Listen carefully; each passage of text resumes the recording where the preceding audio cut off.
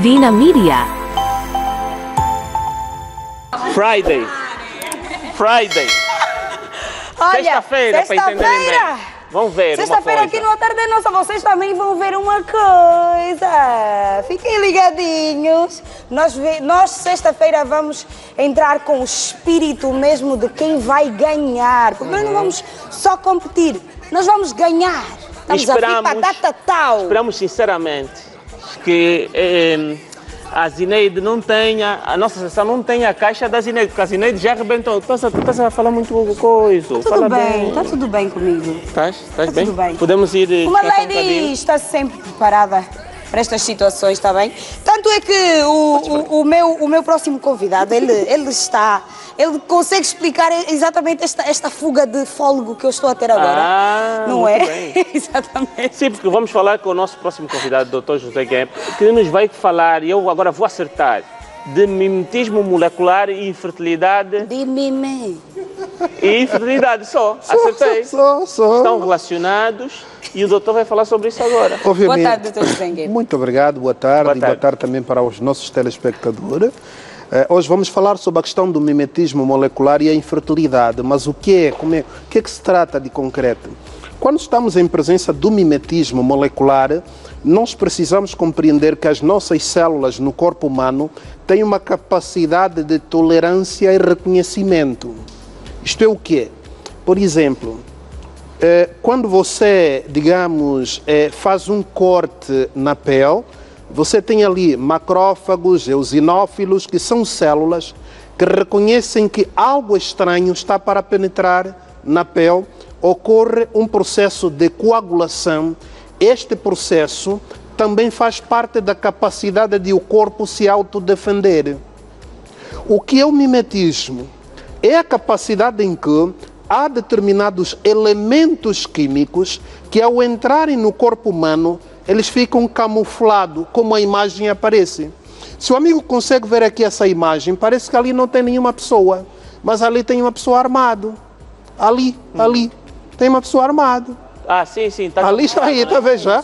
Aí também no outro lado tem pessoa. Então quer dizer, se for numa luta, conforme o capim está e o indivíduo está armado, não consegue se descobrir se de facto ali tem um inimigo ou não. Dentro do nosso corpo há determinados alimentos que se portam como aquela imagem passada.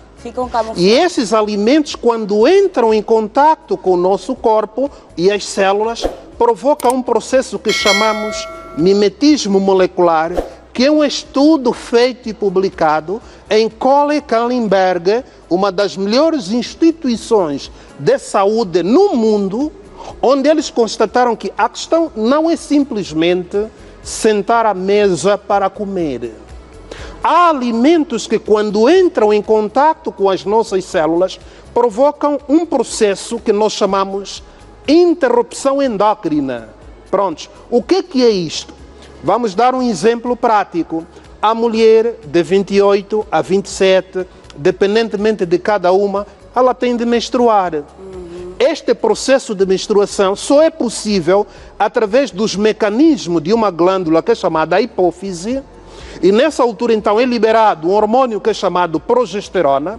Este hormônio automaticamente faz com que haja o período menstrual. Agora, há alimentos que a mulher, ao utilizar, afeta diretamente a glândula hipófise, inibindo a produção da progesterona, e as consequências são dores.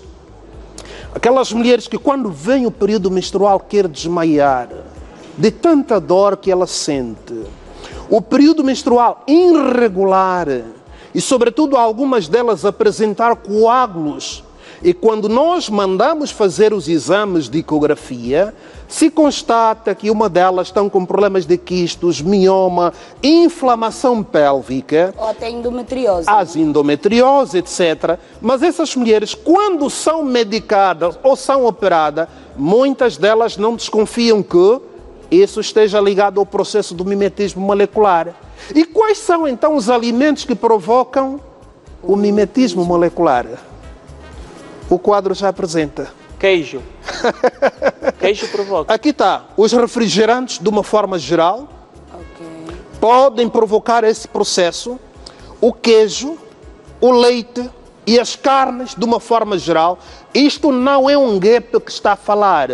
Vejam ali quem fez o estudo. Está ali, National Institute of Health, quer dizer, uma das melhores instituições do mundo, onde chegou-se à conclusão de que o uso destes alimentos provoca o processo de mimetismo molecular e, como consequência, há pessoas que têm problema de infertilidade e a causa do problema está aí. A pergunta que se impõe é: o que, é que está então escondido no leite? No leite nós vamos encontrar uma proteína que é chamada beta-casomorfina. Portanto, a beta-casomorfina, para quem estuda a química, sabe que para ser digerido você precisa de uma enzima chamada renina. Então, quando tu tomas o leite, ou a mulher toma o leite, etc., então esta beta-casomorfina que não é digerida provoca um processo que chamamos interrupção endócrina, ou seja, vai provocar alterações a nível do aparelho reprodutor e, consequentemente, a mulher com problema de infertilidade cuja causa está ali. Agora, na questão, por exemplo, de alimentos que passam no processo de industrialização, os estudos são assustadores. Por que, que no mundo homens com problemas de infertilidade estão a aumentar? Homens com problema de defeitos naquilo que tem a ver a morfologia da célula reprodutora.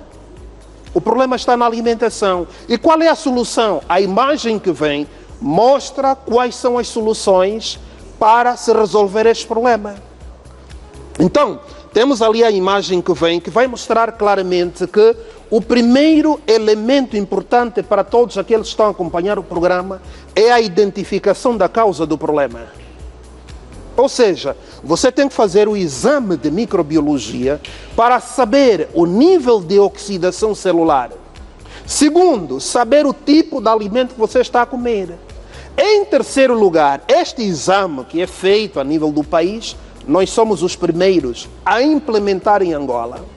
Portanto, isso, esse exame em Angola somos os primeiros, porque você pode fazer uma ecografia, porque olha, a bexiga dói, o período vem com muita dor, etc.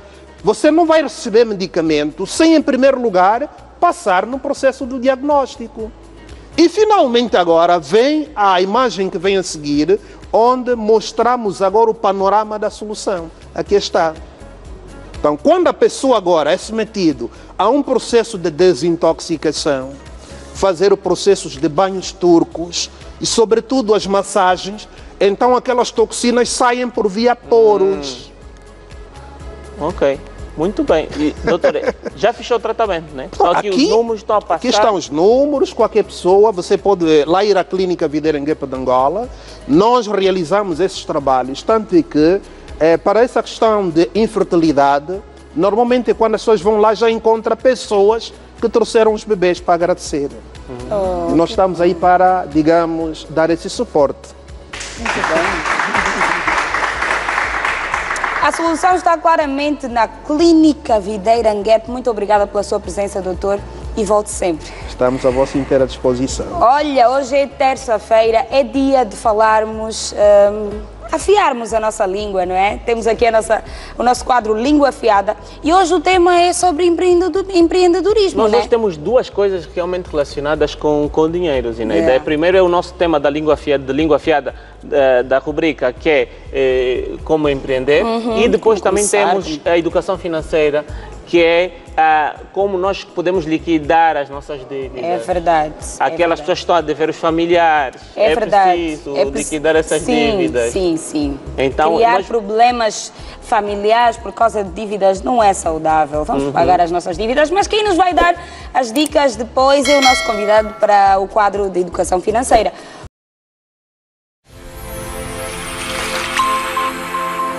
Vina Media